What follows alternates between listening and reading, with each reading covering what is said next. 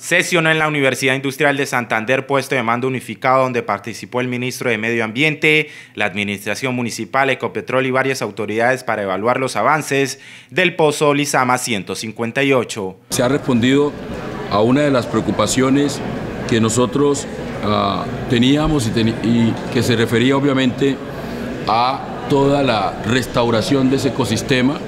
Se ha avanzado sustancialmente, se lograron rescatar cerca de uh, 2.892 eh, especímenes, individuos, y además de eso se han liberado un número similar.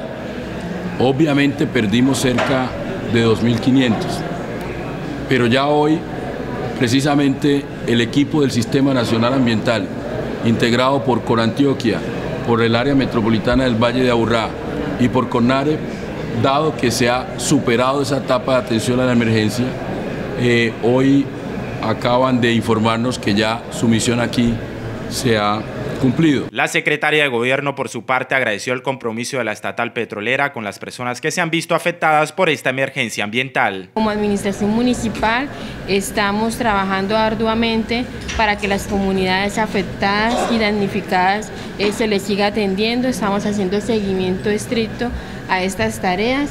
Hoy nuevamente nos trazamos tareas, hemos solicitado eh, información que eh, pues se requiere para poder seguir estableciendo que se está cumpliendo todo lo pertinente frente a las comunidades. Se ha venido avanzando, yo creo que la reunión de hoy muy importante porque nos permite entender algunos temas que tenemos que ajustar, algunos temas que tenemos que seguir trabajando.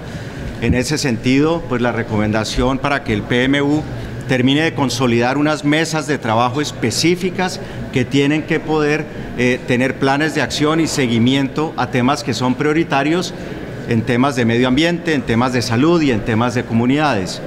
En particular, desde el punto de vista operativo, la unidad eh, de trabajo a presión en pozo, el Snoobing Unit, está operando desde la semana pasada.